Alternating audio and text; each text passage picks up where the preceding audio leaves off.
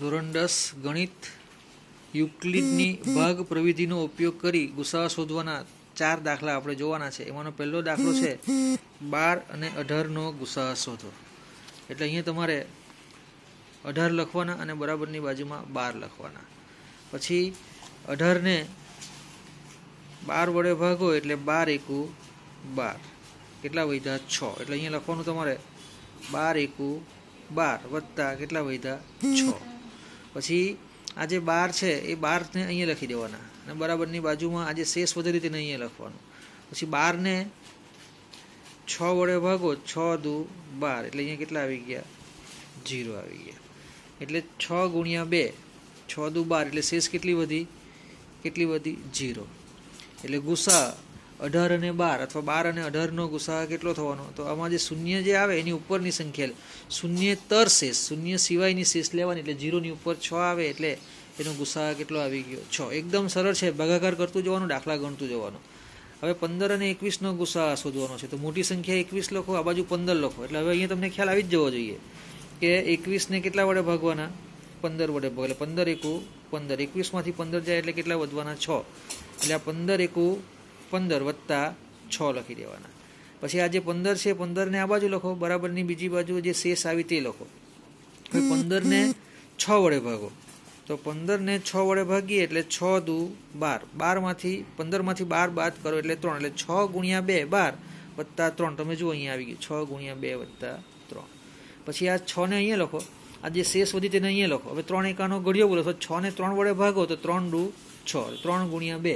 વત્તા જીરો. એટલે આ જે શેષ જીરો આવે, તેની ઉપરની શેષ કઈ આવે તે જોઈ લેવાની. કેટલી શેષ આવેલી છે? ત્રણ. એટલે ગુસા પંદર અને એકવીસનો કેટલો થઈ ગયો? ત્રણ. ચાલો બીજો દાખલો જોઈએ. એકસો પાંત્રીસ અને બસો પચીસનો ગુસ્સા. એટલે બસો પચીસને તમારે શું કરવાનું? એકસો પાંત્રીસ વડે ભાગવાનું. બાજુમાં તમે જાતે ભાગજો. એટલે એકસો પાંત્રીસ એકુ એકસો પાંત્રીસ, કારણ કે બે વડે ગુણાકાર કરો તો એ બસો પચીસ કરતાં વધી જવાનો એટલે શેષ કેટલી વધવાની? નેવું.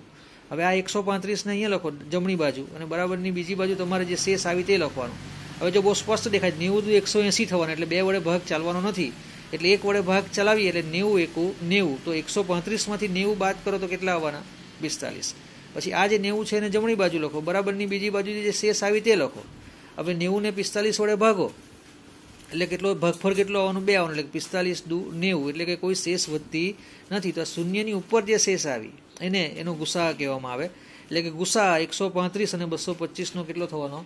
પિસ્તાલીસ થવાનો. એ જ પ્રમાણે આઠસો સડસઠ અને બસો પંચાવન, એક ભારી સંખ્યા લઈએ આપણે.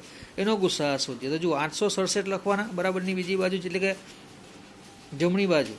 બસો પંચાવન લખવાના અને બસો પંચાવનનો ત્રણ વડે ગુણાકાર કરીએ તો કેટલો આવે? સાતસો પાસઠ આવે. અને એકસો બે શેષ વધે. શેષ આના કરતાં ઓછી વધે. એટલે બસો પંચાવન ગુણ્યા ત્રણ લખી દીધા અને વત્તા શેષ કેટલી વધી? એકસો ને બે લખી. પછી આ બસો પંચાવન આ બાજુ લખી દેવાના. અને બરાબરની બીજી બાજુ જે શેષ વધેલી એકસો બે તે લખી દેવાની. હવે એકસો બે એકાનો ઘડિયો, એકસો બે જે છે એને ભાગો. એકસો બે વડે ભાગો. કોને? બસો પંચાવનને. તો એ બાજુમાં જો મેં ભાગેલા છે. એટલે એકસો બે દુ બસો ચાર. શેષ કેટલી વધી એકાવન. એટલે બસો પંચાવન બરાબર એકસો ને બે ગુણ્યા બે કરો એટલે બસો ને ચાર. અને બાકી રહી ગઈ શેષ એકાવન. પછી આ એકસો બે છે એને આ તરફ લખો. શેષને બરાબરની જમણી તરફ લખો એટલે એકાવન ગુણ્યા બે કરો એટલે બેઠા એકસો બે થઈ જવાનું એટલે કે અહીંયા તમારી શેષ કેટલી આવી જવાની? જીરો આવી જવાની. તો જીરોની ઉપરની શેષ કેટલી આવી? એકાવન આવી. એટલે તમારો ગુસા કેટલો થવાનો? એકાવન. આ રીતે આપણે દાખલા ગણી શકીએ.